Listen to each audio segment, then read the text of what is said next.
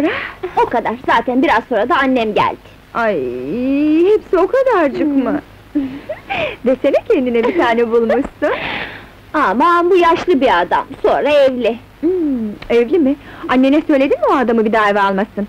Kız çıldırdın mı? Anneme böyle şeyler söylenir mi? Kıyameti koparır vallahi. Sonunda da ben suçlu çıkarım. Ah, ah! Beni hiç kimse öpmedi, hiç de öpüşmesini bilmem. Aman canım ondan kolay ne var? Filmlerde görmüyor musun? Oğlan kızın alt dudağını alıyor, kız da oğlanın üst dudağını başlıyorlar öpüşmeye. Onlar ne güzel öpüşüyorlar.